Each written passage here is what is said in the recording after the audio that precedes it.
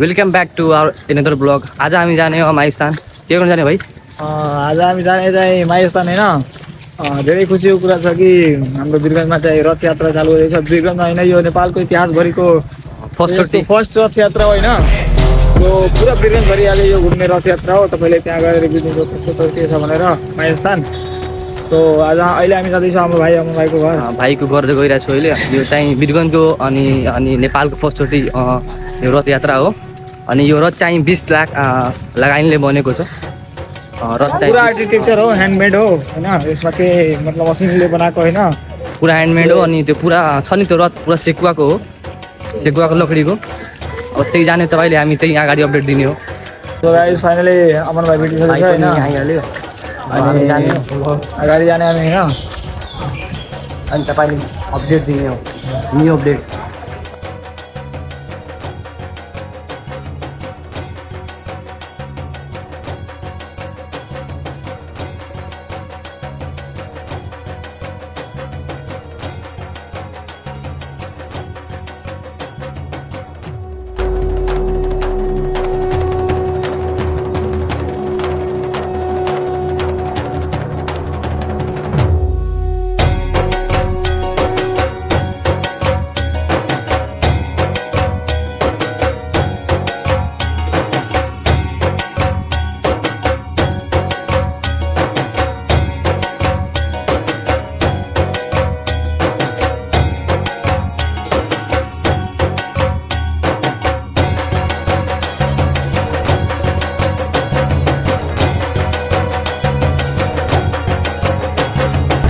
घाटा गर्दै पुगिहाल्यो अनि हामी जान्छौँ हामी अगाडि क्राउड हेर्न सक्नुहुन्छ यहाँ यहाँ क्राउड तपाईँ हेरिहाल्नु लास्टै क्राउड छ यहाँ अहिले श्री राम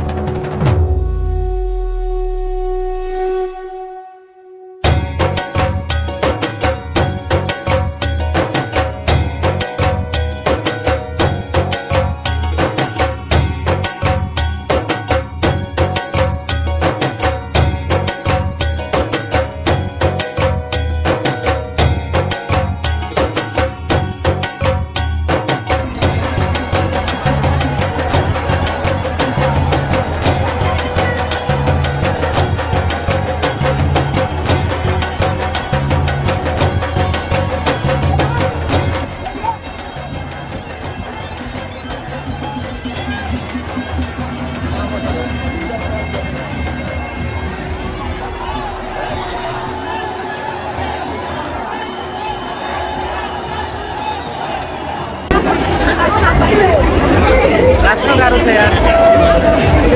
भीड़ भाड़ में बहुत भीड़ भाड़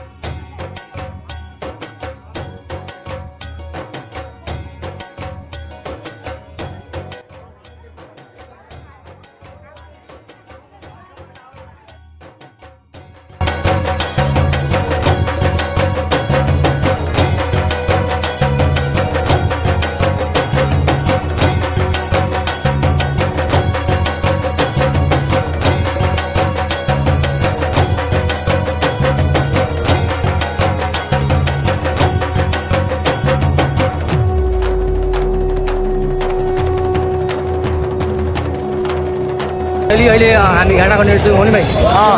यहाँ चाहिँ भिड हेरेर चाहिँ क्राउड फिल भइरहेको छ होइन? तपाईँ हेर्न सक्नुहुन्छ। अनि यहाँ खतरा अँ, भिड छ। उहाँ भाइहरू पनि आएको छ रोहन उता अरविन्दहरू छन् विराजहरू छन् सबैजना त्यो भिड चाहिँ धेरै छ यसमा जो भित्र गएर बाहिर आइसक्यो त्यसको मिसन पास भइहाल्छ। एउटा त्यो एउटा जङ जितिहाल्छ यार वार्ड जितिहाल्छ एउटा।